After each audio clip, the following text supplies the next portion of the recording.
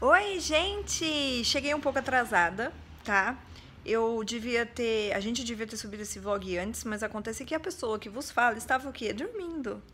Eu dormi agora de tarde e esqueci completamente que hoje era o dia do meu vlog. Então, perdoem, tá? Mas tá aqui. Mas porque, nossa, dormi assim de tarde e tal, não sei o quê. É, eu sou uma pessoa, como eu já disse aqui algumas vezes, eu sou uma pessoa que gosta de dormir. Então, sempre que eu tenho uma oportunidade, eu durmo.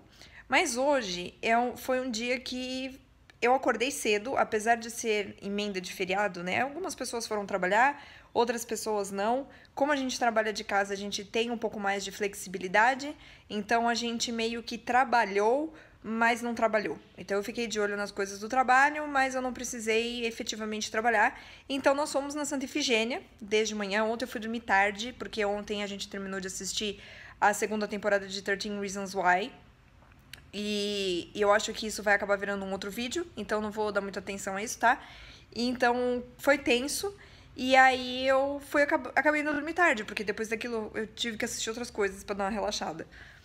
E acordei cedo, por isso que estava com sono agora de tarde. Sempre tô com sono, mas, né, deu aquela preguiça maior agora por conta disso.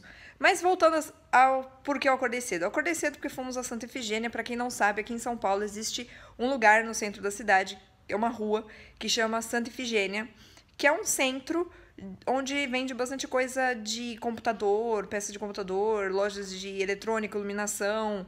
É algum lugar que tem esses tipos de produto um pouco mais barato. Um pouco não, às vezes bastante bem mais barato. E a gente foi porque o Pedro, ele vai dar uma ajeitadinha assim na casa da minha avó. E ela precisava de algumas pecinhas e tal, e ele foi lá comprar e aí eu fui junto. E é um lugar, gente, que para você, para render você tem que ir cedo. E eu tô falando tudo isso por quê? Porque eu queria deixar bastante claro que eu não sou touch, tá? Não me toquem para falar. Se tem uma coisa que me irrita, uma mania nova que as pessoas aqui de São Paulo, não sei se é só em São Paulo, mas grandes centros comerciais onde tem muita lojinha e já é aquela muvuca generalizada que sempre tem nego gritando, sempre tem gente.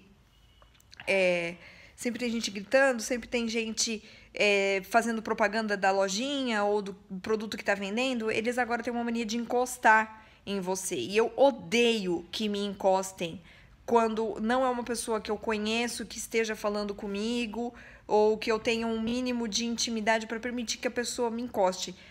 Obviamente, não é que estavam nos abraçando na rua, claro que não.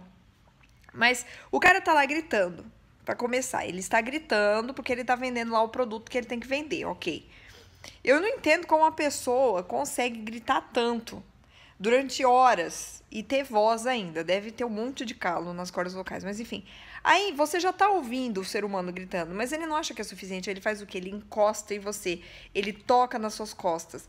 Na 25 de março, super conhecida aqui em São Paulo, que não é muito longe de lá, eles também têm uma mania de. Sabe aqueles é, massageadores? Que de vez em quando a gente compra, que é com pilha, bateria, eles encostam aquilo na gente, só que eles encostam na gente em todo mundo. Então eu tenho um pouco de frescura. Então é só esse meu recado, tá, gente? Eu não sou touch, não precisem encostar em mim enquanto falam comigo. Eu já estou ouvindo ou vendo você, não precisa tocar, tá? É, eu sei, uma coisa chata, talvez minha, mas é um negócio que me irrita um pouco.